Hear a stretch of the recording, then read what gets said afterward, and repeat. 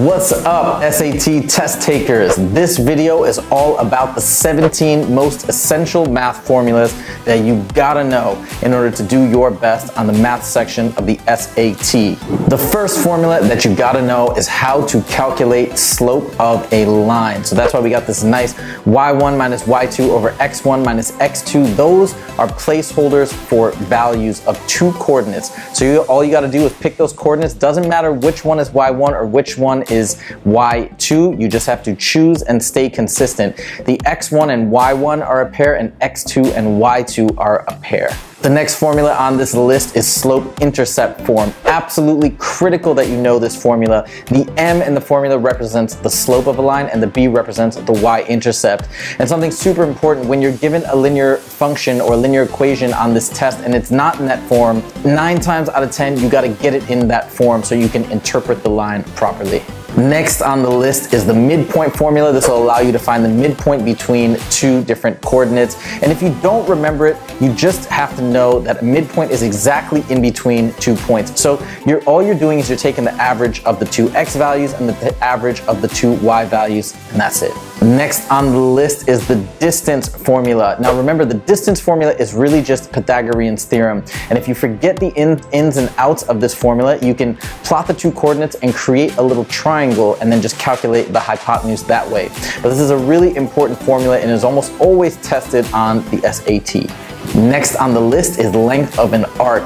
Now we calculate arc length of a circle, which is kind of like, I consider it the crust of a pizza. So it's that outside chunk of a circle, and it's just a length calculation.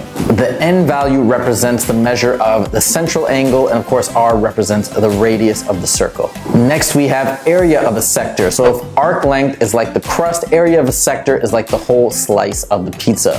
And the theta in this formula represents the angle, the central angle, and of course R represents radius. Next on the list is the quadratic formula. Now this is a really famous formula and it helps you to find the roots of a quadratic function, which means you're finding the spots where it intersects the x-axis. Next on the list is SOHCAHTOA, which of course I'm wearing on my shirt, and that's an incredible acronym to help you remember the ins and outs of the trigonometric functions sine, cosine, and tangent. SOH stands for sine is opposite over hypotenuse. CAH stands for cosine is adjacent over hypotenuse, and TOA stands for tangent is opposite over adjacent. Next on the list is the simple but very important formula of probability, which is the number of favorable outcomes, or AKA the number of ways to win over the total number of outcomes. Next, we have the equation of a circle. They always seem to throw one or two test questions about circles and the equation in a coordinate plane on the test. So you want to know that R stands for the radius and H and K are the X and Y coordinates of the center of the circle. Next on the list is the formula for exponential growth. Now, this equation is super important and will come into play if you get a question that says, hey, we've got a bank account, let's say, or we've got a population that's growing at 12% per year every year, where is it going to be in 10 years? And so what these values are is R in that case will be the 12%, it's the amount it's growing. Now it could also be decreasing by 12%, it'd still be 0.12, but then it's negative, so you are subtracting it in that case. And of course, T stands for the number of years after the starting point. Next, we have the formula for an arithmetic sequence. An arithmetic sequence is a sequence of numbers that either jumps up or goes down by the same amount each time, like 2, 4, 6, 8, 10, etc. Now in this sequence, a sub n is a of the nth term equals a sub 1, which is the first term, plus d, which is the common difference, like the example I gave you, 2 would be the common difference, times n minus 1, and n is the term that you're trying to find. Like if you're trying to find the 100th term, you'd plug in 100 for n. Next, we've got the formula for a geometric sequence. Unlike an arithmetic sequence, a geometric sequence progresses by a multiplier. So for example, if you have a multiplier of 3, it would go 3, 9, 27, 81, and so on and so forth. So in this formula, again, a sub 1 is the first term in the sequence. R is that common multiplier or common ratio. And then, of course, N is the term or number of term that you're trying to find.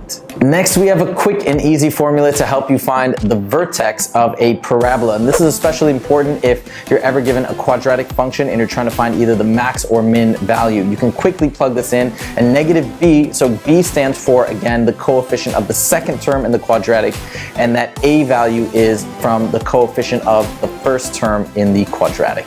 Next on the list is how we convert from degrees to radians. So all you gotta do is take your measurement in degrees, plug it in for theta, multiply it by pi over 180, and you get the equivalent value in radians. Next on the list is vertex form of a parabola. This is a great formula to have in your back pocket because if you see a quadratic function presented in this format, you can quickly see where the vertex is. The vertex is at h comma k. Finally, one of the most famous formulas in math, Pythagorean's theorem. It's not that difficult of a formula to memorize. You should really have it down. It's a squared plus b squared equals c squared for any right triangle where c is the measure of the hypotenuse. A and b could be either leg, it doesn't matter. But that common relationship exists for all right triangles. That's it for the 17 most essential important math formulas for the SAT. If you want to see more from Scalar Learning about SAT prep, make sure to check out my walkthrough videos here and here. They're both really, really good, really helpful, will help you get your studying on point. I wish you guys the best of luck when you take the SAT, and I'll see you all in the next video. Take it easy.